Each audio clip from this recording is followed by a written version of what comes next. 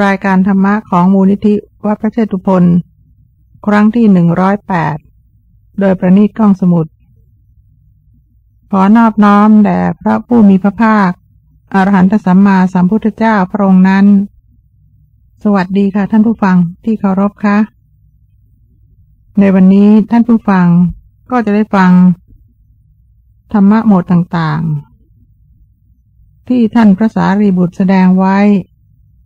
ในสังคีติสูตร ทีกนิกายปาติกวักต่อจากครั้งที่แล้วนะคะ เมื่อครั้งที่แล้วได้พูดถึงธรรมะหมวดหกคืออนุตริยะหกอย่าง อันได้แก่หนึ่งทัศนานุตริยะการเห็นอย่างยอดเยี่ยมสองสวนานุตริยะการฟังอย่างยอดเยี่ยมสามลาพานุตริยะ การได้อย่างยอดเยี่ยม สี่สิกขานุตริยะ การศึกษาอย่างยอดเยี่ยมห้าปาริจริยานุตริยะ การบำเรออย่างยอดเยี่ยมหกอนุสตานุตริยะ การระลึกอย่างยอดเยี่ยม ซึ่งก็ได้พูดไปแล้วสี่ข้อด้วยกันนะคะ คือทัศนานุตริยะ สวนานุตริยะ ลาพานุตริยะ และสิกขานุตริยะ ยังเหลือปาริจริยานุตริยะ และอนุสตานุตริยะ ซึ่งก็จะนำมาพูดในวันนี้นะคะ ขอเชิญฟังได้แล้วค่ะ อนุตริยะข้อที่ห้าได้แก่ปาริจริยานุตริยะ การบำเรอหรือการบำรุงอย่างเยี่ยม ซึ่งได้แก่การบำรุงพระพุทธเจ้าและภิกษุสงฆ์ตลอดจนการบำรุงพระธรรมด้วยนะคะ ในสมัยเมื่อพระพุทธเจ้ายังทรงพระชนอยู่ ภิกษุทั้งหลายมีท่านพระอานนท์เป็นต้น ก็เข้าไปอุปถากรับใช้พระพุทธองค์ด้วยความเคารพเรื่มใส เพื่อต้องการได้เห็นพระจริยาวัดอันงดงาม เพื่อได้ฟังพระธรรมจากพระโอษฐ์เพื่อที่จะนำมาประพฤติปฏิบัติให้สิ้นทุกข์บัดนี้แม้พระองค์จะเสด็จดับขันธปรินิพานไปแล้ว แต่การที่เรายังให้ความเคารพ และ พยายามปฏิบัติตามคำสอนของพระองค์ ก็ชื่อว่า ได้บำรุงพระองค์เช่นเดียวกันนะคะ ส่วนการบำรุงพระธรรมนั้นก็คือ การเคารพพระธรรม ปฏิบัติตามพระธรรม หรือปฏิบัติรับใช้ภิกษุผู้ทรงพระธรรม ก็ชื่อว่าบำรุงพระธรรมค่ะ เพราะถ้าขาดภิกษุผู้ทรงไว้ซึ่งพระธรรมซะแล้ว พระธรรมก็ไม่มีนะคะ การปฏิบัติตามพระธรรมก็เช่นเดียวกัน ชื่อว่าได้ช่วยกันจันลงพระธรรมไว้ ไม่ให้พระธรรมต้องสูญสิ้นไป การบำรุงพระสงฆ์นั้น ได้แก่การบำรุงท่านด้วยปัจจัยสี่เพราะพระสงฆ์เป็นทายาทของพระศาสนา เป็นผู้รักษาและทรงคำสอนของพระพุทธเจ้าเอาไว้นะคะ การบำรุงพระสงฆ์จึงเป็นการจันลงพระศาสนาให้ยืนยาวสืบไป ด้วยเหตุนี้นะคะ การบำรุงพระพุทธ พระธรรม และพระสงฆ์สามอย่างนี้ จึงจัดเป็นการบำรุงอย่างเยี่ยม เพราะนอกจากจะช่วยให้ศาสนาดำรงอยู่แล้ว ยังเป็นประโยชน์แก่ ผู้บำรุงเองด้วย คือเป็นโอกาสให้ผู้บำรุงได้เกิดความรู้ความเข้าใจในพระศาสนา แล้วน้อมนำมาประพฤติปฏิบัติตาม จนกระทั่ง รู้แจ้งแทงตลอดมรรคผลนิพพาน นี่ก็เป็นเรื่องของปาริจริยานุตริยะ การบำรุงอย่างเยี่ยมนะคะ ต่อไปคืออนุตริยะข้อที่หกอันได้แก่อนุสตานุตริยะ การระลึกอย่างยอดเยี่ยม วันหนึ่งวันหนึ่งเราระลึกถึงสิ่งต่างๆ กันนับไม่ถ้วนนะคะ ทั้งดีทั้งไม่ดี แต่พระพุทธเจ้าตรัสว่า การระลึกถึงพระคุณของพระพุทธเจ้า พระธรรม และพระสงฆ์สามอย่างนี้เท่านั้นนะคะ ที่จะจัดเป็นการระลึกอย่างยอดเยี่ยม เพราะเหตุที่การระลึกถึงรัตนะทั้งสามนี้ เป็นเหตุให้เกิดศรัทธาเลื่อมใส พร้อมที่จะทำความดีตั้งแต่ขั้นต้น ไปจนถึงขั้นสูง คือมรรคผลนิพพานทีเดียวนะคะ ท่านผู้ฟังก็ได้ฟังอนุตริยะ คือสิ่งที่ยอดเยี่ยมหกอย่างไปแล้วนะคะ และเมื่อท่านฟังแล้ว ท่านก็จะทราบว่าทำไมพระพุทธองค์จึงทรงจัดสิ่งทั้งหกนั้นไว้ ว่าเป็นสิ่งยอดเยี่ยม ทั้งนี้เพราะสิ่งเหล่านี้ เป็นเหตุให้ได้ธรรมะที่ยอดเยี่ยม คือมรรคผลและนิพพานนะคะ สรุปว่าการเห็นอย่างเยี่ยม การฟังอย่างเยี่ยม การได้ลาบอย่างเยี่ยม การศึกษาอย่างเยี่ยม การบำรุงอย่างเยี่ยม และการระลึกอย่างเยี่ยม ทั้งหกอย่างนั้นล้วนเป็นไปเพื่อการบรรลุมรรคผลนิพพาน อันยอดเยี่ยมทั้งสิ้นนะคะ และด้วยเหตุที่อนุตริยะข้อสุดท้าย ท่านพูดถึงการระลึกอย่างเยี่ยมนั่นเองนะคะ ธรรมะหมวดหกข้อต่อไป ท่านพระสารีบุตร จึงแสดงอนุสติฐานะ คือการระลึกถึงหกอย่าง อันได้แก่พุทธานุสติ การระลึกถึงพระคุณของพระพุทธเจ้าหนึ่งธรรมานุสติ การระลึกถึงคุณของพระธรรมหนึ่งสังขานุสติ การระลึกถึงคุณของพระสงฆ์หนึ่งศีลานุสติ การระลึกถึงคุณของศีลหนึ่งจาคานุสติ การระลึกถึงทานที่ตนได้บริจาคแล้วหนึ่ง เทวตานุสติ การระลึกถึงคุณของเทวดาหนึ่ง การระลึกถึงสิ่งต่างๆ มีพระพุทธเจ้าเป็นอารมณ์เป็นต้นนั้นนะคะ เมื่อระลึกถึงเนืองเนืองก็เป็นเหตุให้เกิดปีติ ให้เข้าถึงอุปจารสมาธิ คือสมาธิที่ใกล้จะถึงฌาน แต่ไม่อาจถึงอัปนาสมาธิ คือสมาธิที่ถึงฌานได้นะคะ ทั้งนี้เพราะอารมณ์ของอนุสติทั้งหกมีพระพุทธเจ้าเป็นต้น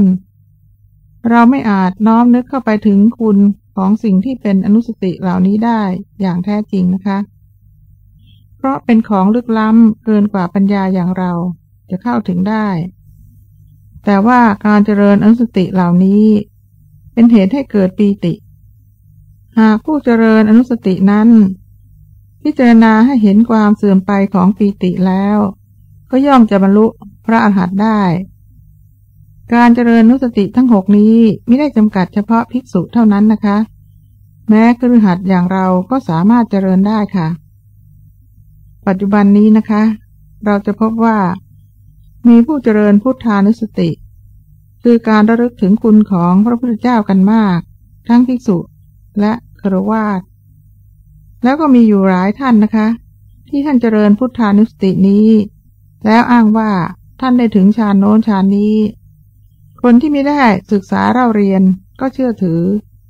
แต่โปรดได้ทราบว่า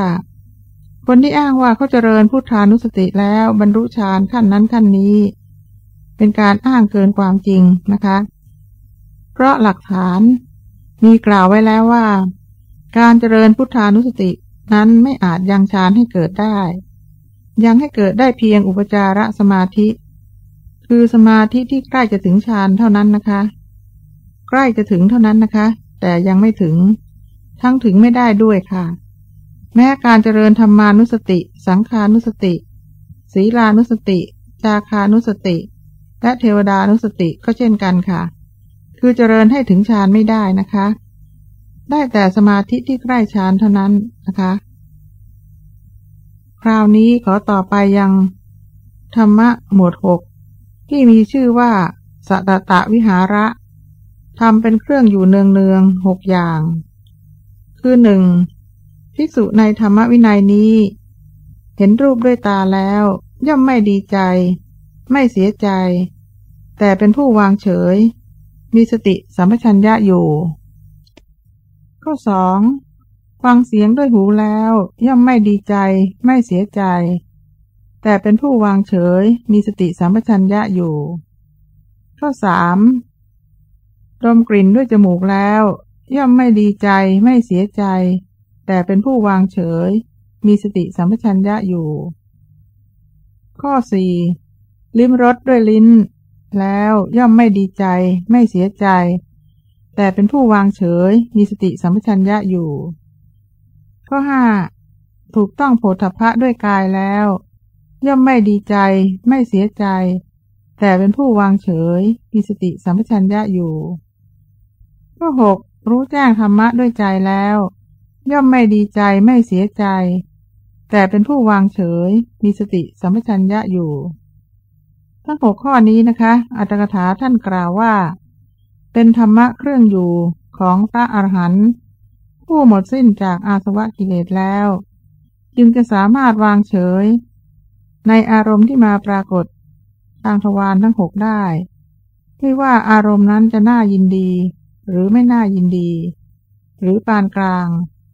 จะน่ายินดีก็ไม่ใช่ จะไม่น่ายินดีก็ไม่ใช่นะคะ ทั้งนี้พระพระอาหารนั้น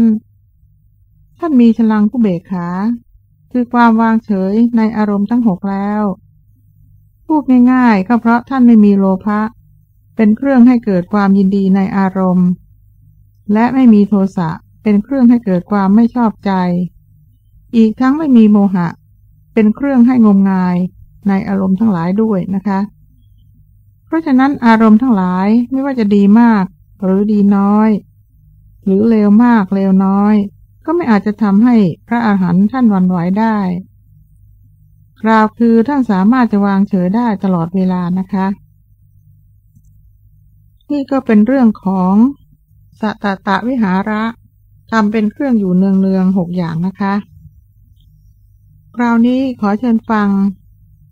ธรรมะหมวดหกข้อต่อไป ที่ชื่อว่าอภิชาติหกอย่าง ซึ่งท่านพระสารีบุตรแสดงว่า ก็หนึ่งนะคะ บุคคลในโลกนี้เกิดในที่ดำประสบธรรมะฝ่ายดำข้อสองบุคคลในโลกนี้เกิดในที่ดำประสบธรรมะฝ่ายขาว ข้อสามบุคคลในโลกนี้ เกิดในที่ดำประสบพระนิพพาน ซึ่งเป็นธรรมะไม่ดำไม่ขาว ข้อสี่บุคคลในโลกนี้ เกิดในที่ขาว ประสบธรรมะฝ่ายขาวข้อห้าบุคคลในโลกนี้เกิดในที่ขาว ประสบธรรมะฝ่ายดำ ข้อหกบุคคลในโลกนี้เกิดในที่ขาว ประสบพระนิพพานซึ่งเป็นธรรมะไม่ดำไม่ขาวนะคะสำหรับคำอธิบาย ในธรรมะหมวดนี้มีว่าดังนี้ค่ะคำว่าอภิชาติ ในที่นี้นะคะ ได้แก่การเกิดนั่นเองค่ะ บางคนเกิดในที่ดำ ซึ่งหมายถึงเกิดในตระกูลต่ำ ประสบแต่ธรรมะฝ่ายดำ คืออกุศลกรรมบทสิบอย่าง มีการฆ่าสัตว์เป็นต้น จัดเป็นธรรมะฝ่ายดำนะคะ อธิบายว่าบางคนเกิดในตระกูลต่ำแล้ว ก็ประพฤติตัวต่ำ คือประพฤติแต่ทุจริตสิบอย่าง มีการฆ่าสัตว์ ลักทรัพย์ ประพฤติผิดในกาม พูดเท็จ พูดส่อเสียด พูดคำหยาบ พูดเพ้อเจ้อ มีจิตเพ่งเลงอยากได้ของของผู้อื่น มาเป็นของตน มีจิตคิดประทุษร้ายผู้อื่น และเป็นผู้มีความเห็นผิดนะคะ การเกิดในตระกูลต่ำนั้นเป็นผลของอกุศล เกิดมาแล้วก็ยังทำแต่อกุศลอีก จึงน่าเป็นห่วงนะคะสำหรับคนประเภทนี้ คือเป็นห่วงว่าเขาจะเกิดในบายเมื่อตายไปนั่นเอง แต่คนบางคนแม้จะเกิดในตระกูลต่ำแต่เขามีความคิด คือเขารู้ว่าการเกิดในตระกูลต่ำของเขานั้น เป็นผลของอกุศล ซึ่งไม่อาจจะแก้ไขได้นะคะ เพราะฉะนั้นเขาจึงทำแต่บุญ อันเป็นธรรมะฝ่ายขาว ซึ่งได้แก่สุจริตกรรมสิบประการ มีการงดเว้นไม่ฆ่าสัตว์เป็นต้น ตายแล้วเขาจึงได้ไปเกิดในสวรรค์ ด้วยอำนาจของสุจริตกรรมนั้นนะคะ หรือบางคนก็ดียิ่งกว่านั้น คือเขาเกิดในตระกูลต่ำแล้ว เห็นความทุกข์ในการเกิด เขาจึงเจริญมรรคเพื่อทำลายการเกิดเสีย ด้วยการเข้าถึงธรรมะไม่ดำไม่ขาว คือเข้าถึงพระนิพพานด้วยอรหัตมรักนะคะ เพราะฉะนั้นตายแล้ว เขาจึงไม่ต้องกลับมาเกิดอีก ที่ที่ท่นกล่าวนี้ก็เป็นพวกที่เกิดในที่ดำคือตระกูลต่ำสามพวกด้วยกันนะคะ คือเกิดในตระกูลต่ำทำกรรมดำแล้ว ไปอบายพวกหนึ่ง เกิดในตระกูลต่ำทำกรรมขาวแล้ว ไปสวรรค์พวกหนึ่ง เกิดในตระกูลต่ำทำกรรมไม่ดำไม่ขาว คือเจริญมรรคและบรรลุนิพพาน อันเป็นธรรมะไม่ดำไม่ขาวอีกหนึ่งนะคะ ยังเหลือบุคคลอีกสามพวกนะคะ ที่เกิดในที่ขาว พวกที่เกิดในที่ขาวนั้นก็หมายถึงเกิดในตระกูลสูง แล้วทำกรรมขาว คือสุจริตกรรมสิบอย่าง มีการเว้นจากการฆ่าสัตว์เป็นต้นเขาจึงได้ไปเกิดในสวรรค์นะคะ แต่บางคนเกิดในตระกูลสูงแล้วก็กลับทำกรรมดำ คือทุจริตกรรมสิบอย่าง ก็จึงได้เกิดในอบายด้วยอำนาจของทุจริตที่ทำไว้ แต่บางคนแม้เกิดในตระกูลสูง แต่ก็เห็นโทษของการเกิด ว่าเป็นเหตุของทุกข์ จึงทำกรรมไม่ดำไม่ขาว คือเจริญอริยมรรคและบรรลุนิพพานอันเป็นธรรมะไม่ดำไม่ขาว ด้วยอรหัตมรรคตายแล้วเขาจึงพ้นจากทุกข์ทั้งมวล ราะฉะนั้นการเกิดในชาตินี้จึงไม่สำคัญนะคะ เพราะเกิดมาด้วยผลของกรรมในอดีต จะดีหรือไม่ดี เราก็แก้ไขไม่ได้นะคะ แต่การกระทำหลังจากการเกิดมาแล้วต่างหากนะคะ ที่สำคัญ เราอยากไปอบายก็ทำกรรมดำอยากไปสวรรค์ก็ทำกรรมขาว อยากไปนิพพานก็ทำกรรมที่ไม่ดำไม่ขาวนะคะ การเกิดในตระกูลสูง หรือตระกูลต่ำไม่สำคัญ เพราะนั่นเป็นผลของกรรมในอดีตสำคัญอยู่ที่การกระทำในปัจจุบัน คนเกิดในตระกูลต่ำก็อาจไปสวรรค์ได้ ไปนิพพานได้เช่นเดียวกับคนเกิดในตระกูลสูงนะคะ และคนที่เกิดในตระกูลสูงก็อาจจะไปอบายได้ เช่นเดียวกับคนที่เกิดในตระกูลต่ำเพราะฉะนั้นการเกิดของแต่ละคนจึงขึ้นอยู่กับกรรม คือการกระทำของตนเองนะคะ ก็ขอผ่านธรรมะหมดหกข้อที่ว่าอภิชาติหกไปได้แล้วนะคะสำหรับธรรมะหมดหกข้อสุดท้าย คือนิเพทภาคิยสัญญาหกอย่าง อันได้แก่อนิจจสัญญาหนึ่งอนิจเจทุกขสัญญาหนึ่งทุกเขอนัตตสัญญาหนึ่งปหาณสัญญาหนึ่งวิราคะสัญญาหนึ่ง และนิโรธสัญญาหนึ่งคำว่านิเพทะในที่นี้ได้แก่นิพานนะคะ เพราะฉะนั้นนิเพทะภากิยะสัญญา จึงหมายถึงสัญญาอันเป็นส่วนแห่งนิพาน คือเป็นส่วนแห่งการบรรลุนิพานนะคะ บุคคลที่เจริญสัญญาหกประการนี้แล้ว ย่อมบรรลุนิพานได้ เพราะการเจริญสัญญาหกอย่างนี้ เป็นการเจริญวิปัสสนา ให้รู้ถึงความจริงของรูปนามขันห้าว่าไม่เที่ยงเป็นทุกข์ เป็นอนัตตา ด้วยปัสสนาญาณสัญญาห้าอย่างข้างต้นนั้นได้กล่าวมาแล้ว ในธรรมะหมวดห้าในข้อว่าสัญญาอบรมวิมุตห้าอย่างนะคะ ในธรรมะหมวดหกเพิ่มสัญญาอย่างที่หกคือนิโรธสัญญา อันได้แก่สัญญาในนิโรธานุปัสสนาญาณเข้ามาอีกหนึ่งเท่านั้นนะคะ ขอเรียนให้ฟังอีกครั้งนะคะว่า ข้อหนึ่งนั้น คือนิจสัญญานั้น ได้แก่สัญญาที่เกิดขึ้นในญาณคือปัญญาเป็นเครื่องพิจารณาเห็นว่าขันห้าเป็นของไม่เที่ยงนะคะ ข้อสองอนิจเจทุกขสัญญา ได้แก่สัญญาที่เกิดขึ้นในยานปัญญาเป็นเครื่องพิจารณาเห็นว่าเป็นทุกข์ ในสิ่งที่ไม่เที่ยงคือขันห้านั่นเองค่ะ ข้อสามทุกเขอนัตตสัญญา ได้แก่สัญญาที่เกิดขึ้นในยานปัญญาเป็นเครื่องพิจารณาเห็นว่าไม่ใช่ตน ในสิ่งที่เป็นทุกข์ คือขันห้านะคะ ข้อสี่ปหาณสัญญา คือสัญญาที่เกิดขึ้นในยานปัญญาเป็นเครื่องพิจารณาเห็นว่า ควรละเสีย ข้อห้าวิราคะสัญญา คือสัญญาที่เกิดขึ้นในยานปัญญา เป็นเครื่องพิจารณาเห็นความคลาย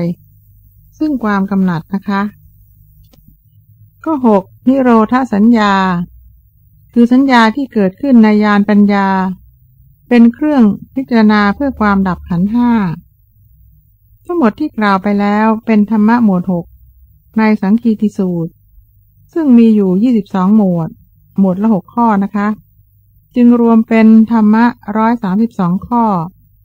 ที่ท่านพระสารีบุตรรวมเข้าไว้ในสังคีติสูตร เพื่อให้ธรรมะที่พระผู้มีภาคเจ้าทรงแสดงไว้เป็นอย่างเดียวกัน ไม่แตกแยกกันเหมือนธรรมะของพวกนิครนทั้งเพื่อความตั้งมั่นแห่งพระศาสนาด้วยนะคะ ก่อนจะผ่านไปก็ขอสรุปให้ฟังอีกครั้งหนึ่งนะคะว่า ธรรมะหมวดหกรวมยี่สิบสองหมวดนั้นได้แก่หนึ่งอายตนะภายในหก สองอายตนะภายนอกหกสามวิญญาณหกสี่ผัสสะหกห้าเวทนาหกหกสัญญาหกเจ็ดสัญเจตนาหกแปดตัณหาหกเก้าอาคารวะธรรมหกสิบคารวะธรรมหกสิบเอ็ดสมนัสสุปวิจารหกสิบสองโทมนัสสุปวิจารหก สิบสามอุเบกขูปวิจารหกสิบสี่สารานิยธรรมหกสิบห้ามูลเหตุแห่งการวิวาทหกสิบหกธาตุหกสิบเจ็ดนิสารณียธาตุหกสิบแปดอนุตริยะหกสิบเก้าอนุสติฐานะหกยี่สิบสัตตะวิหาระหกยี่สิบเอ็ดอภิชาติหก ยี่สิบสองนิเพทภาคยะ สัญญาหกรวมเป็นธรรมะยี่สิบสองหมวด หมวดละหกข้อ เป็นธรรมะร้อยสามสิบสองข้อ ซึ่งท่านพระสารีบุตรแสดงไว้ในธรรมะหมวดหกนี้นะคะ ต่อไปขอเชิญท่านฟังธรรมะหมวดเจ็ดที่ท่านพระสารีบุตรแสดงไว้นะคะ ธรรมะหมวดเจ็ดหมวดแรก คืออริยทรัพย์เจ็ดนะคะ ได้แก่หนึ่งศรัทธาทนัง ทรัพย์คือศรัทธาสองศีลทนัง ทรัพย์คือศีลสามหิริทนัง ทรัพย์คือหิริสี่โอตปะทนัง ทรัพย์คือโอตปะห้าสุตตะทนัง ทรัพย์คือสุตตะหกจาคะทนัง ทรัพย์คือจาคะเจ็ดปัญญาทนัง ทรัพย์คือปัญญา อริยทรัพย์นั้นก็หมายถึงทรัพย์อันประเสริฐนะคะ ทรัพย์ทั้งหลายที่เรามีอยู่ ไม่ว่าจะเป็นแก้วแหวนเงินทอง บ้านเรือน นาไร่หรือบุตรพัญญาข้าทาสทั้งหลายเป็นต้นนั้นไม่ได้ชื่อว่าอริยทรัพย์นะคะ เพราะเป็นทรัพย์ภายนอก ไม่อาจจะเป็นประโยชน์แก่เจ้าของได้ตลอดไป อย่างดีก็เป็นประโยชน์แก่เจ้าของ ช่วงเวลาที่ยังมีชีวิตอยู่เท่านั้นนะคะ ไม่อาจจะเป็นประโยชน์ไปถึงโลกหน้าได้ บางครั้งยังอาจทำความเดือดร้อนให้แก่เจ้าของด้วยซ้ำไป เป็นต้นว่าทรัพย์นั้นถูกขโมยไป หรือแตกทำลายไป เสียหายไปก็เดือดร้อนเป็นทุกข์คร่ำครวญถึง เพราะฉะนั้นทรัพย์ภายนอก จึงไม่ชื่อว่าอริยทรัพย์ เพราะไม่ใช่ทรัพย์อันประเสริฐนะคะ ท่านผู้ฟังคะอริยทรัพย์ที่ท่านพระสารีบุตรกล่าวไว้ ว่าเป็นทรัพย์อันประเสริฐนั้นก็เพราะเป็นทรัพย์ภายใน เป็นประโยชน์เกื้อกูล แก่เจ้าของทรัพย์นั้นในโลกนี้ด้วย ติดตามไปเกื้อกูลในโลกหน้าด้วยนะคะ ทั้งนี้เพราะอริยทรัพย์ที่ท่านกล่าวนี้ เป็นความดีที่จำเป็นต้องอบรมให้เกิดขึ้นในตน เมื่อเกิดขึ้นแล้วก็ไม่หนีหายไปไหน คงฝังแน่นอยู่ในจิตใจของเจ้าของตลอดไป แม้ตายไปแล้วเกิดใหม่ ไปเป็นอะไรอริยทรัพย์นั้นก็ติดตามไปด้วย เหมือนเงาติดตามตนฉะนั้นนะคะอริยทรัพย์แต่ละข้อนั้นเป็นทรัพย์อันประเสริฐ เพราะว่าบุคคลผู้มีอริยทรัพย์ข้อแรก คือศรัทธาแล้ว ย่อมเกิดความเชื่อในกรรมและผลของกรรม คือเชื่อว่าทำดีก็ได้รับผลดีทำชั่วก็ได้รับผลชั่ว เชื่อว่าสัตว์มีกรรมเป็นของของตน คือใครทำกรรมอย่างใด คนนั้นก็ได้รับผลของกรรมนั้นนะคะ เชื่อในพระปัญญาตรัสรู้ของพระพุทธเจ้า คือเชื่อว่าพระพุทธเจ้าทรงตรัสรู้จริง ธรรมะที่พระองค์ตรัสสอนนั้น ก็ล้วนเป็นธรรมะที่ทรงตรัสรู้ด้วยพระองค์เอง ไม่ได้ทรงคาดคะเนหรือตรึกตรองเอาเอง ผู้ที่มีศรัทธาเชื่อในสิ่งที่ควรเชื่อ เช่นเชื่อเรื่องกรรมเป็นต้น ก็ย่อมจะให้ทาน รักษาศีล และเจริญภาวนาศรัทธาจึงเป็นพื้นฐานเบื้องต้น ในการที่จะทำกุศลทั้งมวลกาศรัทธาเสแล้วกุศลก็เกิดไม่ได้นะคะ ศรัทธาจึงเป็นเสมือนพืช ที่ควรจะหวานให้เกิดงอกงามขึ้น คนใดมีศรัทธามั่นคงศรัทธานั้นย่อมนำความสุขมาให้ ทั้งในโลกนี้และโลกหน้า ทั้งนี้เพราะว่าศรัทธานั้นเป็นกุศลไม่ใช่อกุศลนะคะ ขึ้นชื่อว่ากุศลแล้วก็ย่อมให้ผลเป็นความสุขทั้งสิ้นศรัทธาจึงชื่อว่าเป็นทรัพย์ประเสริฐอย่างนี้ละค่ะ ต่อไปคืออริยทรัพย์ข้อสองได้แก่สีลัทนัง ทรัพย์คือศีลก็ศีลนั้นแปลว่าปกติ คนที่มีอกุศลเป็นปกติ ชื่อว่ามีอกุศลศีล คือทำชั่วเป็นปกตินะคะ ส่วนคนที่มีกุศลเป็นปกติทำความดีอยู่เป็นนิด ชื่อว่ากุศลศีลอริยทรัพย์ในที่นี้ท่านหมายเฉพาะ ศีลที่เป็นกุศล หรือกุศลศีลเท่านั้นนะคะ ศีลที่เป็นกุศลเท่านั้นจึงชื่อว่า เย็น เพราะให้ความเย็นกายเย็นใจ แก่ผู้รักษาอยู่เป็นปกติ ปกติของมนุษย์นั้นก็คือศีลห้าได้แก่เว้นจากการฆ่าสัตว์หนึ่ง เว้นจากการถือเอาทรัพย์ที่เจ้าของเขาไม่ได้ให้หนึ่ง เว้นจากการล่วงประเวณีหนึ่ง เว้นจากการพูดเท็จหนึ่ง และเว้นจากการดื่มสุราเมรัย ตลอดจนของมึนเมาทั้งหลายหนึ่ง รวมเป็นศีลห้านะคะ ศีลอื่นนอกนั้นก็มีศีลแปดศีลสิบศีลสองร้อยยี่สิบเจ็ดนั้นก็จัดเป็นศีลที่พิเศษกว่าปกติ คนที่จะรักษาศีลได้นั้นก็ต้องอาศัยมีศรัทธาเป็นพื้น คนมีศีลย่อมมีกายวาจาสุภาพเรียบร้อย คนที่มีศีลอยู่เป็นปกติแล้ว ศีลนั้นย่อมจะติดตามไปให้เป็นคนเรียบร้อยต่อไปในชาติหน้าด้วยนะคะ เพราะฉะนั้นศีลจึงเป็นอริยทรัพย์อีกประการหนึ่ง คนเรานั้นนะคะ ถ้ามีศีลก็มีความละอายใจ ไม่กล้าทำบาป เกิดความละอายบาปละอายตนเองไม่ทำบาปหิริคือความละอายบาป จึงเป็นอริยทรัพย์ข้อหนึ่งนะคะ แม้อตปะความสะดุ้งกลัวต่อบาป คือกลัวว่าถ้าทำชั่วลงไปแล้ว จะได้รับคำติเตียนจากผู้อื่น จึงไม่กล้าทำบาปโอตปะจึงเป็นอริยทรัพย์อีกข้อหนึ่งนะคะฮิริความละอายบาป กับโอตปะความเกรงกลัวบาปนั้น ฟังดูแล้วก็คล้ายกัน แต่ต่างกันอยู่ที่ฮิรินั้นละอายตนเอง จึงไม่กล้าทำบาป ส่วนโอตปะนั้นละอายผู้อื่น จึงไม่กล้าทำบาปนะคะ คนที่ไม่ยอมทำบาปนั้น จะต้องละอายตนเองและละอายผู้อื่นด้วย จึงจะไม่กล้าทำถ้าละอายตนเองแต่ไม่ละอายผู้อื่น หรือละอายผู้อื่นแต่ไม่ละอายตนเอง ย่อมทำบาปทำชั่วได้ เพราะฉะนั้นคนที่ไม่ทำบาป จึงต้องมีทั้งความละอายใจตนเอง และละอายต่อคำติดเตียนของผู้อื่นด้วยนะคะในพระพิธรรมแสดงไว้ชัดทีเดียวนะคะว่า คนที่ทำดีทำกุศลนั้นอริยทรัพย์ทั้งสามอย่างจะต้องเกิดร่วมกันเสมอ ขาดอย่างใดอย่างหนึ่งไม่ได้เลยค่ะอริยทรัพย์ทั้งสามที่กล่าวนี้ก็คือศรัทธาหิริและโอตปะนะคะ ส่วนอริยทรัพย์คือศีนั้น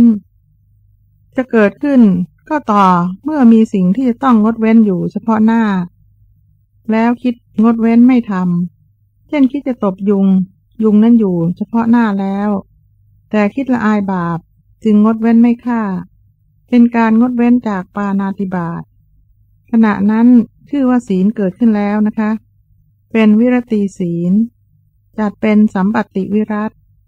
ส่วนการสมาทานศีลตั้งใจงดเว้นจากการล่วงศีลนั้น จัดเป็นเจตนาศีล เจตนาศีลนั้นเป็นการตั้งเจตนาคิดงดเว้นไว้เท่านั้นนะคะ ว่าจะไม่ทำบาป แต่เมื่อมีเหตุให้ล่วงศีลเกิดขึ้นเฉพาะหน้า อาจจะไม่ได้ทำตามเจตนาที่ตั้งไว้ก็ได้ เมื่อไม่ได้ทำตามเจตนาที่ตั้งไว้ วิรติศีลก็ไม่เกิดนะคะ วิรติศีลจะเกิดก็เมื่อสามารถงดเว้นไม่ทำบาปได้ ในเมื่อมีเหตุจะให้ทำบาปเกิดขึ้น เฉพาะหน้าเท่านั้นค่ะ เพราะฉะนั้นใครที่สมาทานศีลแล้ว เรายังเชื่อว่าเขามีศีลร้อยเปอร์เซ็นไม่ได้นะคะ จนกว่าจะมีเหตุให้ล่วงศีลเกิดขึ้น แล้วผู้นั้นไม่ยอมล่วงศีล เพราะฉะนั้น เราจึงเห็นคนที่สมาทานศีลห้าข้อไปหยกหยกตบยุงบ้าง พูดปดบ้าง ดื่มสุราบ้าง ทั้งนี้เพราะเขาขาดวิรติศีล